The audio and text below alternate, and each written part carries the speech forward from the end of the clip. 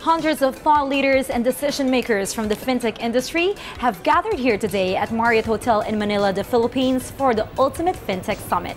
My name is Stephanie and this is CoinGeek.com coverage.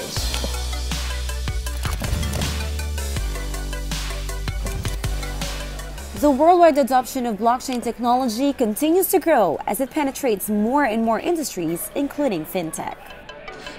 Think it is important to include the discussions of cryptocurrency and blockchain in this summit? I'm not a conspiracy theorist, but the last financial crisis taught me that we need to have an alternative to the traditional banking sector. And that can only be through cryptocurrencies.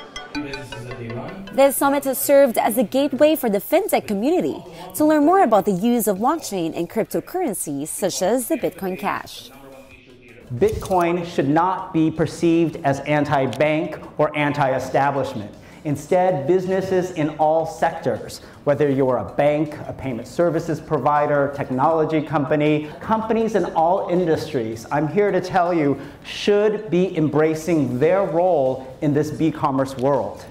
At the on-ramp, they're handing over cash, Korean won, Hong Kong dollars, to possibly a remittance or money transfer operator store that they've used. And then on the off ramp here in the Philippines, they'll get it into their bank account within about 10 minutes. So what we've done is we've created and used Bitcoin in the back end as a settlement mechanism for transfers. Uh, Blockchain technology have played significant roles in cryptocurrencies.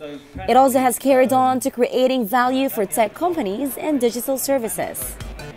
Under this blockchain technology, what are the products and services that is being used uh, and offered by TAG?